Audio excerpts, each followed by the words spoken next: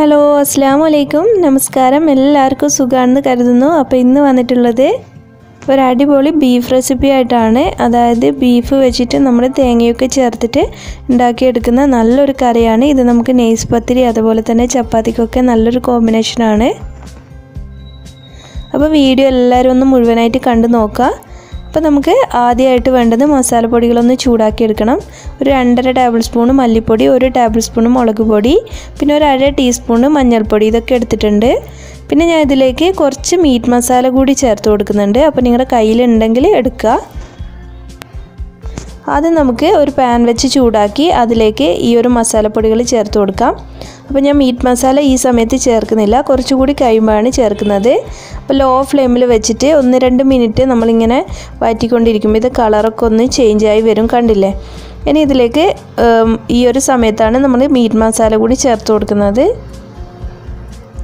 അപ്പോൾ മീറ്റ് മസാല കയ്യിലില്ലാത്തവർ ഒരു ഒന്നര ടീസ്പൂൺ കൂടി മല്ലിപ്പൊടി കൂടുതൽ ചേർത്ത് കൊടുത്താൽ മതി. ഞാനിപ്പോൾ ഒന്നര ടീസ്പൂണ് മീറ്റ് മസാല കൂടി ചേർക്കുന്നുണ്ട്. ഇത് പറയുന്നത് അര കിലോ ബീഫിന്റെ അളവിലാണ് എല്ലാ മെഷർമെന്റും പറയുന്നത്.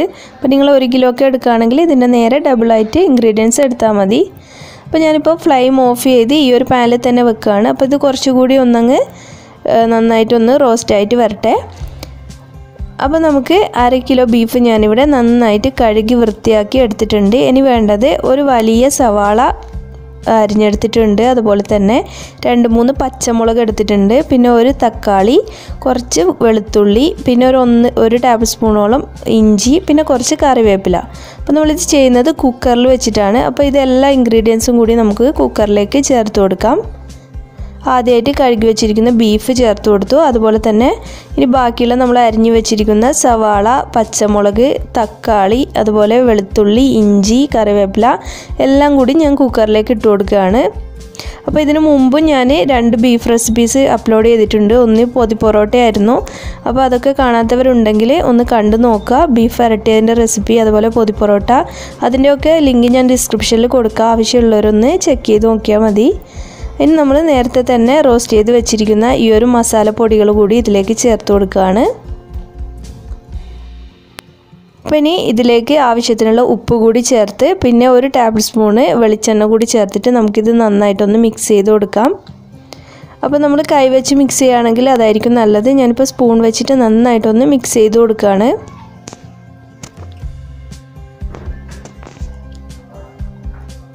ഇനി നമുക്ക് നല്ല വേവുള്ള ടൈപ്പ് ബീഫാണെങ്കിൽ ഏകദേശം ഒരു മുക്കാൽ കപ്പ് അരക്കപ്പൊക്കെ വെള്ളം ഇതിൽ ചേർത്തിട്ട് ലോ ഫ്ലെയിമിൽ വെച്ച് വേവിച്ചെടുക്കാം. അപ്പോൾ നിങ്ങൾ അധികം വേവില്ലാത്ത ബീഫാണെങ്കിൽ വെള്ളം ചേർക്കേണ്ട ആവശ്യമില്ല. ഇങ്ങനെ തന്നെ ലോ ഫ്ലെയിമിൽ വെച്ചിട്ട് വേവിച്ചെടുത്താലും മതി.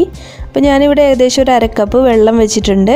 ഇനി ഇതിൽ ഇത് നന്നായിട്ട് അടച്ചു വെച്ചിട്ട് ഒരു ആറ് വിസിൽ വരുന്നത് വരെ നമുക്ക് വെയിറ്റ് ചെയ്യാം. അപ്പോൾ ബീഫ് ഒന്ന് വെന്ത് വരുന്ന സമയത്ത് നമുക്കിതിലേക്കുള്ള തേങ്ങ ഒന്ന് ചെറുകിയെടുക്കാം. ഞാനിവിടെ ഏകദേശം ഒരു മുക്കാൽ കപ്പ് തേങ്ങ എടുത്തിട്ടുണ്ട്. അതൊരു പാനിലേക്ക് മാറ്റിയിട്ടുണ്ട്. അപ്പം നമ്മൾ വറുത്തരച്ച ബീഫ് കറിയൊക്കെ ചെയ്യുന്നതിന്റെ ഏകദേശം ഒരു രീതിക്കാണ് ഈ ഒരു റെസിപ്പി വരുന്നത്. പക്ഷേ അതിനേക്കാൾ കുറച്ചുകൂടി നല്ലൊരു ടേസ്റ്റി ആയിട്ട് തോന്നി ഈ ഒരു രീതിയിൽ ചെയ്യുമ്പോൾ. ഇനി ഇതിലേക്ക് ഒരു അര ടീസ്പൂണോളം വലിയ ജീരകം പെരുംജീരകം ഉണ്ടല്ലോ അതാണ് ചേർത്ത് കൊടുക്കുന്നത്.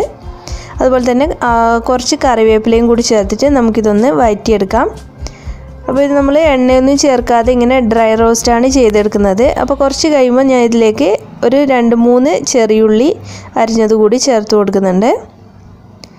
എന്നിട്ട് ലോ ഫ്ലെയിമിൽ വെച്ചിട്ട് നമുക്കിത് കുറച്ച് സമയം ഒരു ലൈറ്റ് ബ്രൗൺ കളർ ആകുന്നത് വരെ ഒന്ന് ഇളക്കി കൊടു ഇളക്കി കൊടുത്തുകൊണ്ടിരിക്കാം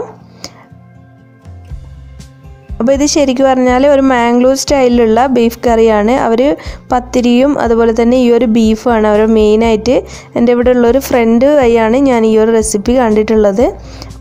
അപ്പോൾ അവർ പത്തിരിയുടെ കൂടെ മെയിനായിട്ട് ഉണ്ടാക്കാറുള്ള ഒരു കറി തന്നെയാണ് ഇത്. അപ്പോൾ അവരുടെ കൈ അടുത്തുനിന്ന് ഞാൻ ഇത് കഴിച്ചപ്പോൾ നല്ല ടേസ്റ്റി ആയിട്ട് തോന്നി. അപ്പോൾ ഞാൻ ആ ഒരു റെസിപ്പി ചോദിച്ച് വീട്ടിൽ ഉണ്ടാക്കി നോക്കിയപ്പോൾ എല്ലാവർക്കും നല്ല ഇഷ്ടമായി അങ്ങനെ നിങ്ങളായിട്ടൊന്ന് ഷെയർ ചെയ്യാമെന്ന് കരുതി ഈ ഒരു റെസിപ്പി അപ്പോൾ നമ്മുടെ ബീഫ് ഇവിടെ നന്നായിട്ട് വെന്ത് വന്നിട്ടുണ്ട്. അധികം വെള്ളം ഉണ്ടാവാൻ പാടില്ല. ഈ ഒരു രീതിക്ക് വന്നാൽ മതി.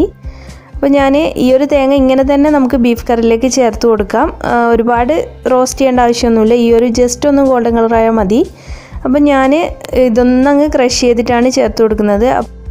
ഒരുപാട് പൗഡർ പോലെ ആക്കേണ്ട ആവശ്യമൊന്നുമില്ല. ഒന്ന് പൾസ് ബട്ടൺ രണ്ട് പ്രാവശ്യം ഒന്നങ്ങ് കറക്കുമ്പോഴത്തേക്കും കണ്ടില്ലേ? ഇതുപോലെയായിട്ടാണ് നമുക്ക് കിട്ടുക. ഇനി നമുക്കിത് ബീഫ് കറിയിലേക്ക് ചേർത്ത് കൊടുക്കാം. അപ്പോൾ ബീഫ് കറി നല്ല വെള്ളം ഉണ്ടെങ്കിൽ നിങ്ങൾ കുറച്ചൊന്ന് വെള്ളം വറ്റിച്ചതിന് ശേഷം ഇത് ചേർത്ത് കൊടുക്കുക. ഹൈ ഫ്ലെയിമിൽ വെച്ചിട്ട് വെള്ളം വറ്റിച്ചതിന് ശേഷം ചേർത്ത് കൊടുക്കുന്നതായിരിക്കും നല്ലത്. അപ്പോൾ ഇനി ഈ ഒരു തേങ്ങ കൂടി ചേർത്തിട്ട് നമുക്കിത് നന്നായിട്ടൊന്ന് തിളപ്പിച്ചെടുക്കാം.